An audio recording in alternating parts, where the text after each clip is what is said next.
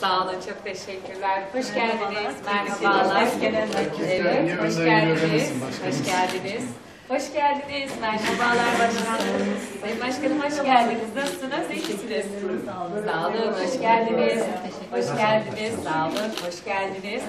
Hoş geldiniz başkanım, nasılsınız? Teşekkürler. Sağ olun, hoş geldiniz. Merhabalar. Hoş geldiniz, merhabalar.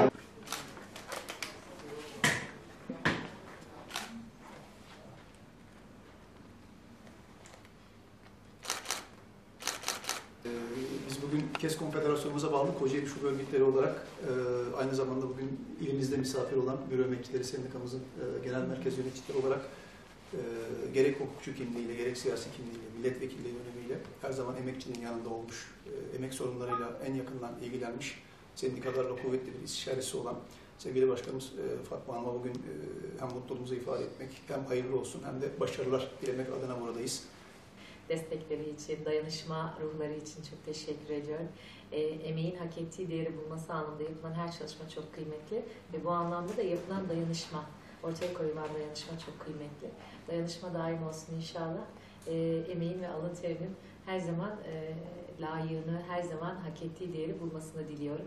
Bu anlamda da kent adına e, tüm e, sendikacı e, arkadaşlarımızın yaptığı çalışmaların e, çalışmalar adına da çok teşekkür etmek istiyorum. Çünkü bunlar hakikaten özverili çalışmalar. Hakikaten gönüllülük esasına da dayalı çalışmalar.